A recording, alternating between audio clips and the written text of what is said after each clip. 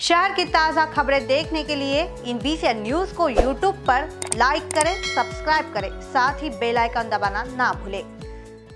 भारतीय जनता पक्ष के नगर सेवक धर्मपाल मेश्राम ने 26 मई को एक पत्र परिषद लेकर मनपा आयुक्त तुकाराम मुंडे को उन्होंने लिए कुछ निर्णयों पर स्पष्टीकरण मांगा था।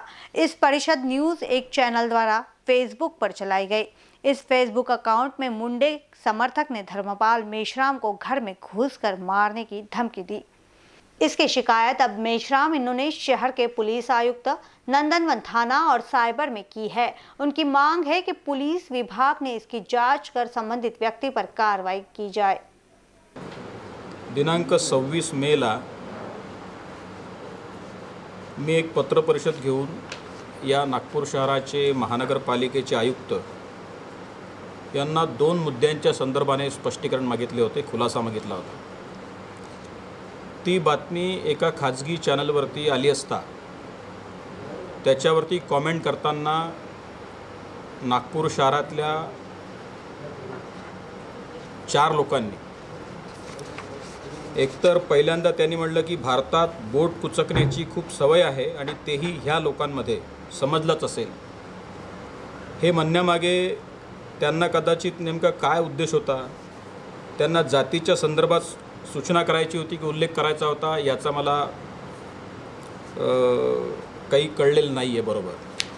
आणि एवढंच नव्हे तर त्याच इस्माने पुन्हा या मेश्रामच्या घरी घुसून हाणलं पाहिजे अशी धमकी दिली.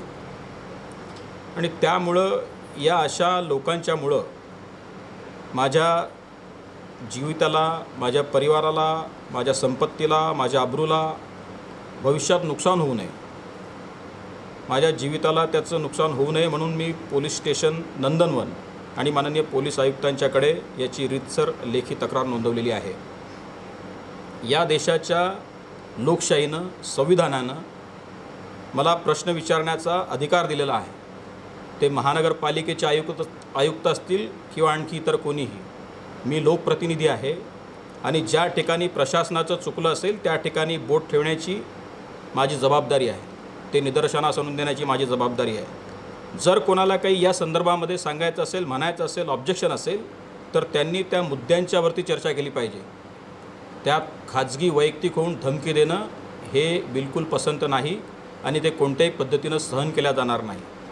माननीय पोलीस आयुक्तांनी आणि पोलीस निरीक्षकांनी या संदर्भामध्ये सखोल तपास करून या सगळ्या आरोपींवर कठोर कारवाई करावी अशी मागणी आपल्या माध्यमातून मी करीत आहे. मी त्याच्यामध्ये माननीय आयुक्तांनी माननीय आयुक्त तुकारामजी मुंडे यांनी एप्रिल महिन्याच्या पहिल्या आठवड्यामध्ये पत्रपरिषदेच्या दरम्यान सांगितलं की कोविड नाईन्टीनच्या संदर्भामध्ये मास्क लावण्याची गरज नाही. जेव्हा त्यांच्या आय एस असोसिएशन आणि मिनिस्ट्री ऑफ हेल्थ आणि फॅमिली वेलफेअरकडे तक्रारी झाल्या त्यांनी नऊ एप्रिलला या पद्धतीचं परिपत्रक काढलं की मास्क लावणे गरजेचं आहे. या संदर्भातला खुलासा मागणे आणि त्याच त्याचप्रमाणे राष्ट्रवादी काँग्रेसचे राज्यपाल नामनिर्देशित आमदार चोवीस तारखेच्या दरम्यान माननीय आयुक्तांना भेटल्यानंतर त्यांनी सुदामनगरी प्रभाग क्रमांक तेराचा प्रतिबंधित क्षेत्र असल्याची व्याप्ती कमी केली होती.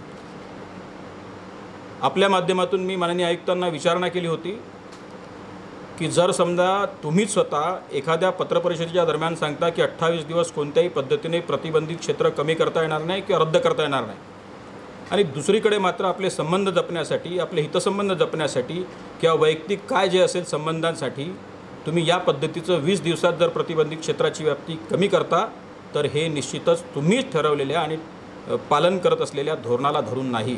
हे प्रश्न मी त्या ठिकाणी पत्रपरिषदेमध्ये उपस्थित केले होते.